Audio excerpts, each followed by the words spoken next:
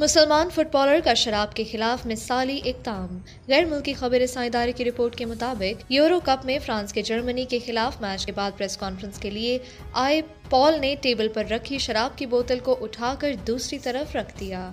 दो रोज कबल अपनी प्रेस कॉन्फ्रेंस के दौरान पुर्तगाल के मायानाज स्ट्राइकर क्रिस्टियानो रोनाल्डो ने भी टेबल पर रखी कोका कोला की दो बोतलें अपने सामने से हटाकर दूसरी जानब रख दी थीं और कैमरे के सामने अपनी पानी की बोतल लहराई और पुर्तगाल जबान में एगवा कहा जिसका मतलब पानी है। गुजशत माह पॉल और अमाद ने इंग्लिश प्रीमियर लीग में मानचेस्टर यूनाइटेड के खिलाफ मैच एक एक से बराबर होने के बाद ओल्ड ट्रेफोर्ड पिच पर फिलिस्तीन का झंडा लहरा दिया था। ख्याल रहे कि मानचेस्टर यूनाइटेड की जानब से खेलने वाले पॉल 2019 में मुसलमान हुए थे। अपने इस फैसले से मुतालिक एक इंटरव्यू में उन्होंने कहा था कि मुसलमान होने से मुझे कल भी सुकून हासिल हुआ है। याद रहे, पॉल का कहना था कि दीन इस्लाम में दाखिल होकर मेरी ज़िंदगी में मुस्बत तब्दीली रोनुमा हुई है।